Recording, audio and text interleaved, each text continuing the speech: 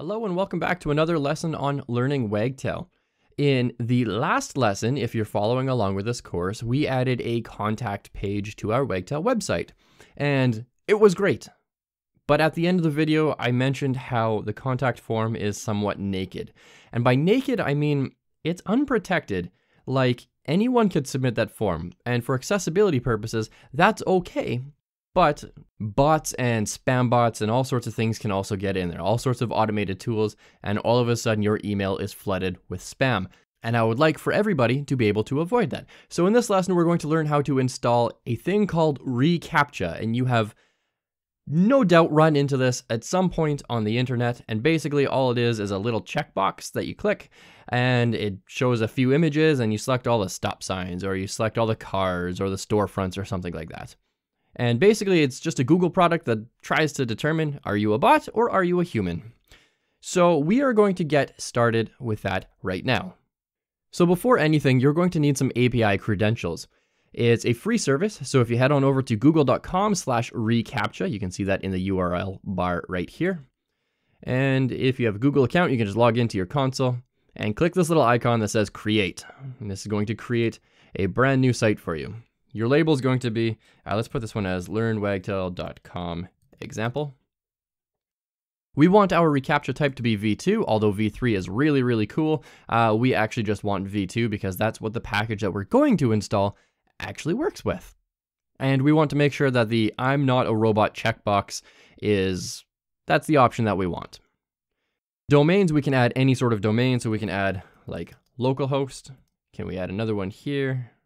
Uh, let's make sure that we can add one with our port. I wonder if they're going to allow us to do that. And then let's add our own website, Wagtail, learnwagtail.com, something like that. Accept the reCAPTCHA terms of service. Send alerts to owners if you really want them to. Uh, I'm going to disable that because this is just an example, but you might want to keep that enabled. Click submit. And as we can see here, uh, the following domains are not valid. Localhost 8000, let's get rid of that one. Let's hit submit again.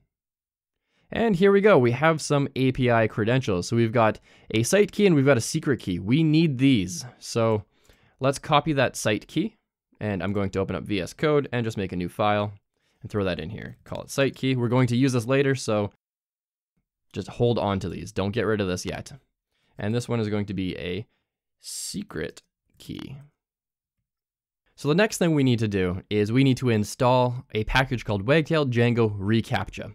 So if you open up your terminal and go into your website, so I'm going to cd into my website, and I'm going to get into my pip environment, and all I'm going to do is type pip install Wagtail Django reCAPTCHA. And that didn't find anything because I had a typo in there. Re CAPTCHA. There we go. All right, so that's installed.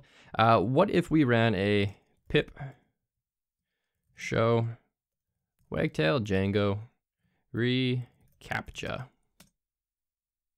This will tell us our version. Version is 1.0, the name, uh, all sorts of good stuff in here. What we want to do with this is we want to grab that version and throw it into our requirements.txt file. So again, open up the file called requirements.txt, and at the bottom, you can add wagtail Django reCAPTCHA is equal to 1.0. And I got that 1.0 from this version right here. And just as a little shout out, uh, our friends over at Springload, springload.co.nz, actually make and maintain this package, so it's pretty good, actually. They make a lot of really good things. Definitely friends of the Wagtail community. So we're going to save that requirements file and shut her down. Next, we need to open up our base.py, base.py, and in our installed apps, we need to make sure that we're actually installing the CAPTCHA. So there's two things we need to do here, and as far as I'm aware, uh, the documentation I'll make that a little bigger here. The documentation for this package actually says you only need to install one app, but in fact, we need to install two. So uh, let's go down to the very bottom here and let's add Wagtail CAPTCHA. And above it, let's put CAPTCHA. So this one here So this one here comes from a package called Django CAPTCHA. And we can see that in here. Where is it? Uh, Django reCAPTCHA version 2.0.2. That's what this is depending on. And so we're just going to install that there, or rather enable it. And the Wagtail, Wagtail reCAPTCHA, or Wagtail CAPTCHA, this is the Wagtail package itself. So this one depends on this one, installs it with uh, pip install Wagtail Django CAPTCHA, and we just need to make sure that both of them are enabled. So again, I know that the docs at this current time do not say that, but it should be mentioned that you do need CAPTCHA and you do need Wagtail CAPTCHA.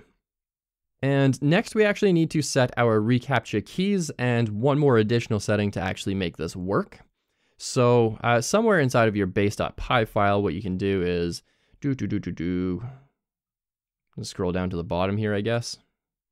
Wagtail settings, let's call this reCAPTCHA settings. And I will, there we go. Scroll that up so you can see it.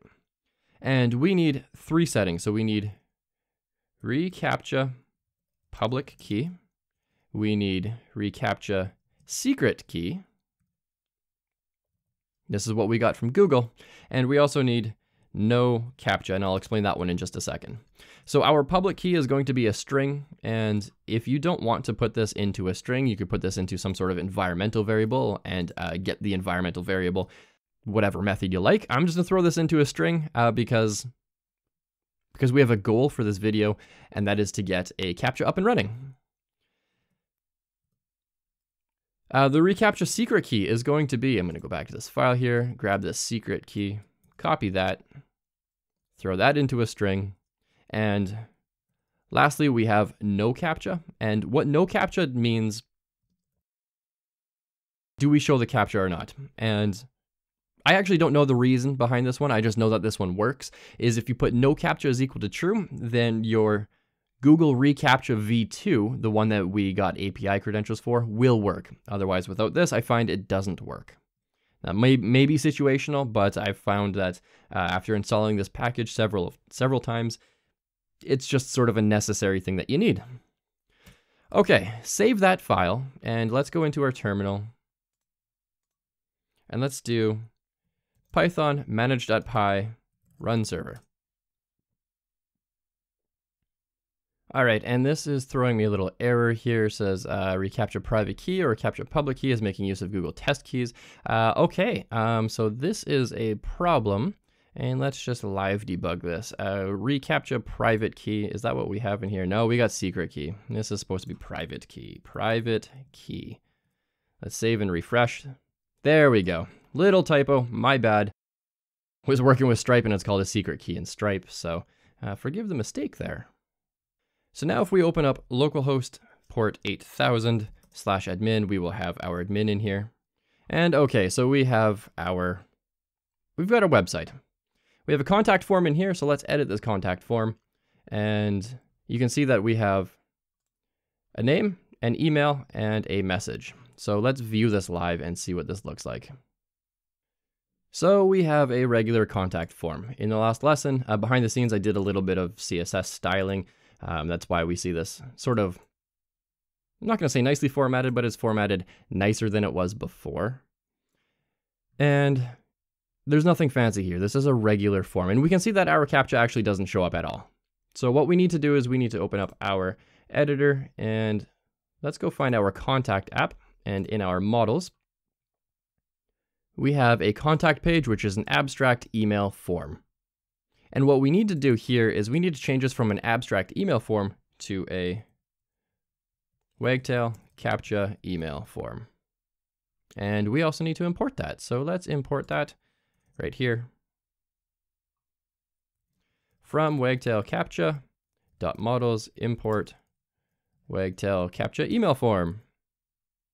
Let's save and uh, da, da, da, no module named Wagtail CAPTCHA dot model. It's models no issues.